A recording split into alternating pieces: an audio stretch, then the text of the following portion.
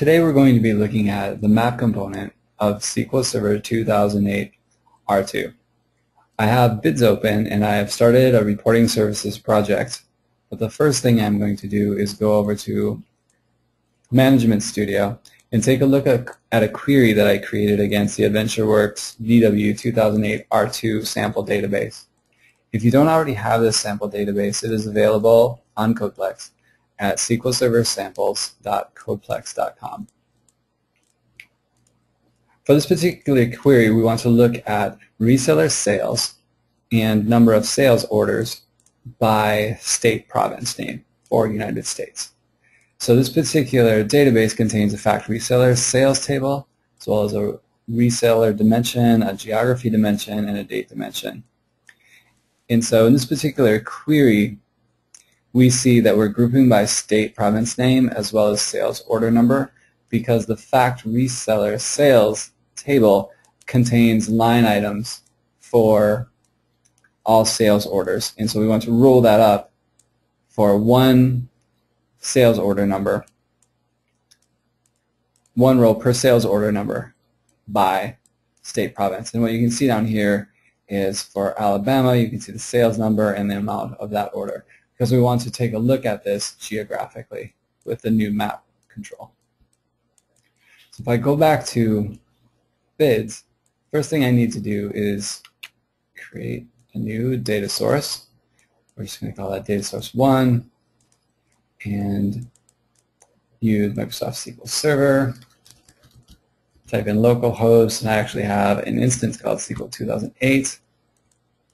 I'm going to pick my AdventureWorks DW 2008 R2 database, test the connection, everything looks good, and say OK. I'm now going to add a new report, which launches the report wizard. Choose the data source that I just set up, and then go back to Management Studio, grab my query, paste that in and say next. Um, the tabular report type is fine for now. We're not actually going to use that. We're going to delete it and add a map control. So I'm not going to add any available fields. And then the slate style is just fine. And click finish, and I'm going to call this map sample.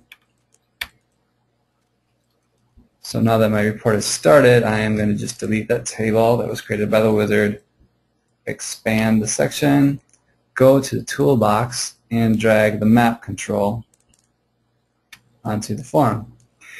This launches a wizard, and the first thing in the wizard, I have to choose a source for the spatial data. Now, we have the options of using the map gallery, which is included with reporting services, or we can choose ESRI shapefiles. And for more information on that, you can look on books online. We'll have some ideas on where to get some additional shapefiles. Or we can use the spatial data type within SQL Server it's itself. For this particular example, we're just going to use the built-in map gallery. And for the map gallery, I have a couple of different options. I can either choose states and look at counties for example, Florida, or I can choose three between three different options for the United States as a whole. USA by state, exploded, or by state inset. I'm going to choose exploded and click next. The next thing we have the ability to do is to move this around so it looks good in our final report we have the ability to change the map resolution and this determines how many data points are needed on the map to actually get the resolution that you want. Um, for the best quality, of course, that potentially has a performance hit, so you have to adjust that depending on your needs, and we're going to leave it right now at best quality. The other thing we have the option to do is to add a Bing map layer so if you check that, then you can see um, the map layer that would appear. You have the ability to choose between road or area or a hybrid of the two. We're going to leave that off for now, and you always have the ability to add that later as well.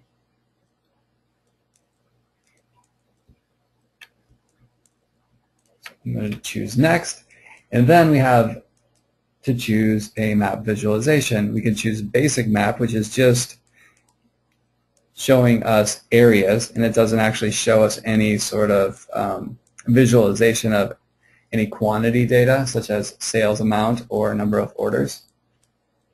Or we can choose the color analytic map, which we can choose one type of data, such as sales amount, and we can turn states a variety of colors based on how well we're doing selling in those particular states. Or the last option is a bubble map, and in this case we can actually show two different data elements. So we can compare our sales amount and the number of orders that we have by state. So this is the one we're going to choose for this ex example. I'm just going to go ahead and choose the data set that I created when I pasted in my query. And now we have to match up the spatial data set fields to our query fields and we have the option of using either the state number, which is just the states in order. This is built into reporting services, or the state code, or the name itself. And since our query has the state name, we're going to check that, and now we can pick state province name, and we can see visually that we're hooking up our state province name to the map's state name. Click Next. Have a variety of themes we can choose from, from corporate to ocean. I'm just going to leave that generic. And then what are the bubbles going to represent? So the bubbles in our case are going to represent the number of orders that we have by state. So we're going to just count our sales order number and then we can check use polygon colors to visualize data. And here we have to pick a field as well. And this is where we're going to sum our sales amount to show amounts of sales by state visually.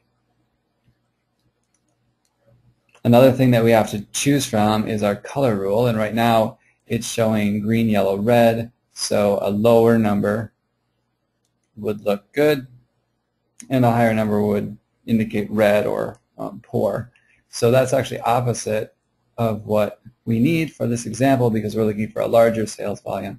So we're going to switch that to red, yellow, green. We also have many other options. You can choose whether or not to show display labels and what to show on those labels. We're going to leave that off. So I'm going to click Finish. And now our map is ready to go and we can preview that.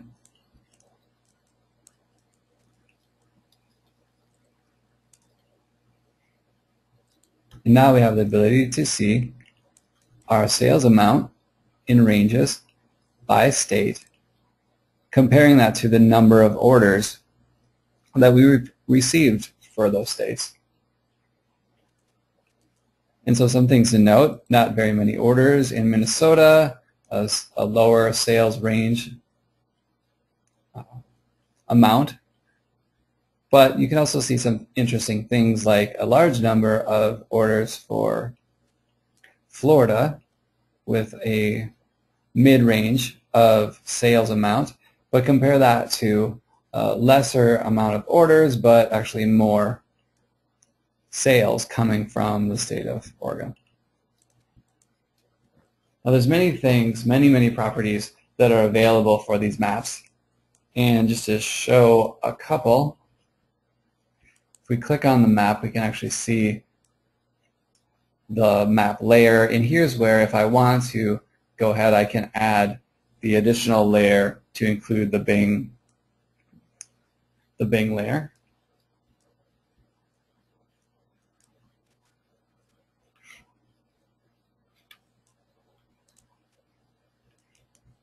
I can also again look at my color rule which I had stated as red being the start color, yellow the middle color, and green as the end color. I could also change my bucket count from 5 to something like 7. And then what this will do is actually have other gradients of color. Um, now we'll see 7. So if I run this again, I can see the additional ranges and the additional colors that appear in the map. And we can go ahead and we can change the um, what appears within the map itself. We could move this outside of the map. We could delete it altogether. Since we already have the legend over here, we could um, customize the display of the labels, many, many, many other properties that you can explore. And so I just wanted to thank you for taking the time to watch this video today on an introduction to maps in SQL Server 2008 R2.